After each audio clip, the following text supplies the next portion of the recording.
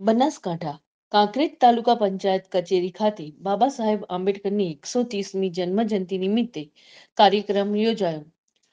કાંકરેજ તાલુકા પંચાયતના ન્યાય સમિતિ ચેરમેન મનુભાઈ પરમાર સહિત વકીલ શ્રી મહેશભાઈ પરમાર તેમજ અન્ય આગેવાનો ઉપસ્થિત રહ્યા હતા અને બાબા સાહેબ આંબેડકરની પ્રતિમાની ફોટોને ફૂલહાર પહેરાવી દીપ પ્રગટાવીને શ્રદ્ધા સુમન અર્પણ કરવામાં આવ્યા હતા.